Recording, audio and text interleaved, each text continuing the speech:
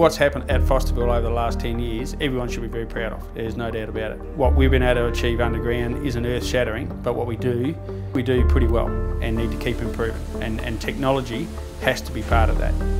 Mine's now heading into a growth phase. Uh, we had up to nine drills running in the last 12 months, which is, I think, as good as anyone else running around in Australia at the moment. And as a result, uh, we've been able to make some discoveries, some really high grade, significant discoveries. Once you get the life, now you've got to do something with it. This mine historically has been a four and a half to five gram um, per tonne mine and at that, you know, we were just profitable and it was hard work.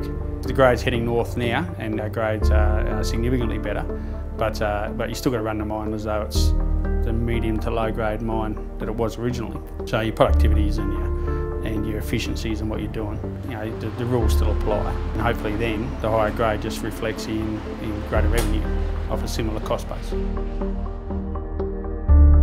We put it to the guys that, you know, we can't stand still, uh, productivity has to increase. Our haulage productivity, for example, we've seen some significant improvements over the last couple of years. It's been a really good journey so far.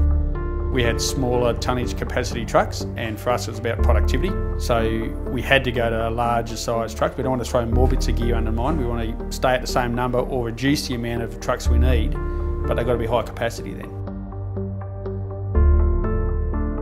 The TH663 is genuinely a 60 plus tonne truck. We average somewhere around you know, 61 and a half to 62 tonne a load every time. So that, that's a step up for us because the trucks that they were replacing were essentially like a 45 tonne. That's a fair degree step up again in, in terms of productivity and it's, it's been good for the site.